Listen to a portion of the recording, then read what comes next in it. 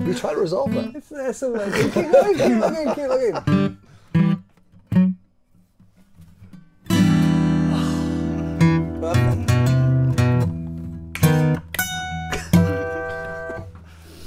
Wow, Everyone, that was an interesting jam. What an ending. Epic. Yep. Can we can we put a tab out for that? Oh, I'll put I'll put a tab out I'll, and I'll put the little text bit in where I made a mistake. I went oh during the jam as well. Brackets. Hi everyone. What we're doing today, D? Oh, mate, today we are talking about these uh, outstanding Masterworks Elite. Pretty. Beautiful things, aren't they? I was, I was actually bowled over when I pulled this out. It was like, I've got to be honest, they're not my cup of tea because I like, I think we all do, we, we Yeah. all sort of lean towards the traditional Yeah. understated. And the brand itself is pretty understated. But we made these and they are really pretty. Well, I have to say, when we were talking about the prices of these earlier, yeah. I think you sort of blew me away a bit at how inexpensive they are for the quality. I mean, it's, it's like really outstandingly high quality. So? Masterworks Elite, there's only six models. They're all walnut. There's this one which is all solid wa- walnuts, a solid wa- black walnut top, solid black walnut backs and sides. Tim is the 70. This is the 77. So Tim's is solid AAA Sitka with solid walnut backs and sides. They have real paua abalone purfling.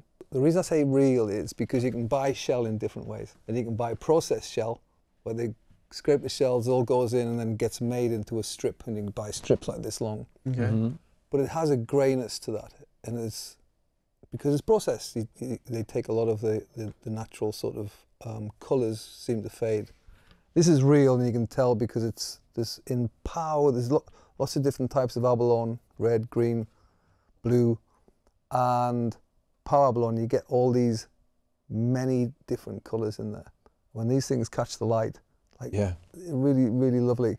So ours is real. It's put in by hand.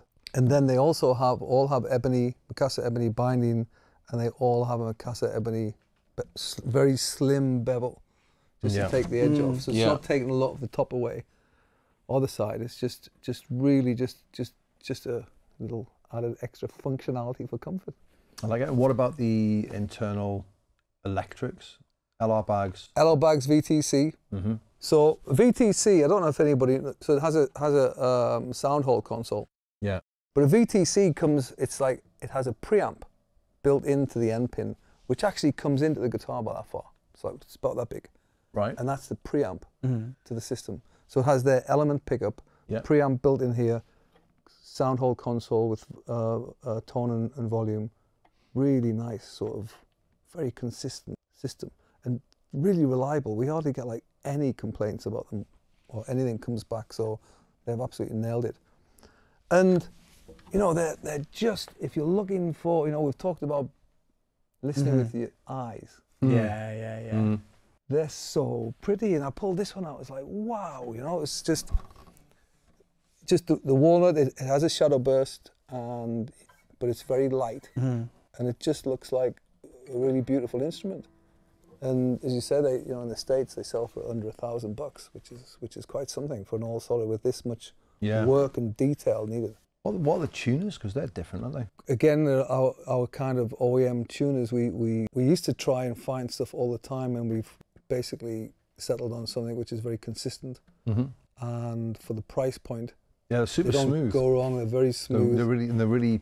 a bit Um, higher up than what we use in the rest of the line. yeah. So it's it's a, it's a great. I would say anybody sort of a stage guitar. Mhm. Yeah.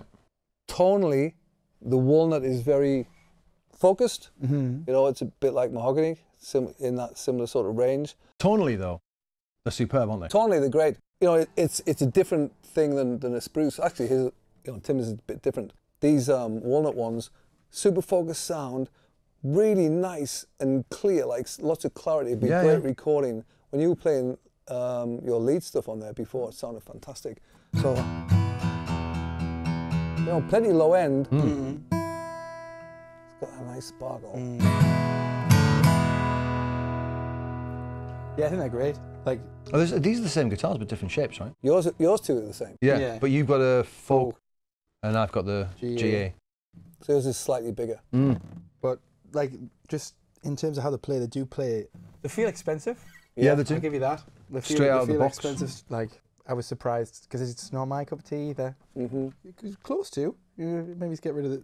Uh, this I understand that it's like really nice, and and like makes it look expensive, but it's just like not personally my taste, but the look and feel expensive. It's not just it's not just about like how they look. The Tim, you were saying something about it would suit electric player or something. yeah, I mean I've said it before about cutaways on acoustic guitars. They always kind of make you feel more comfortable.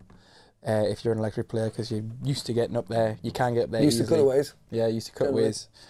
And the other thing with these is they just feel really solid. Yeah. Like, and it's not affecting the tone, right? mm-hmm. It sound, it sound, they actually sound pretty good. But there's something that just is reminding them. Great um, resonance, you know. Yeah, like, it's like proper- overtones. You know, like you pick up a Les Paul and you plug it into an amp and it sustains like really, really like Level. evenly level. Insert But what you're not getting chord. there i- is there's not a lot of overtones there. No, It's, it's very consistent. When have you played an all solid walnut before? uh, never because this this one. Probably the first time, right? Yeah, yeah. Is that, you think that's what I'm hearing? I, I would presume so. Yeah, different back and sides is Yeah. doing that.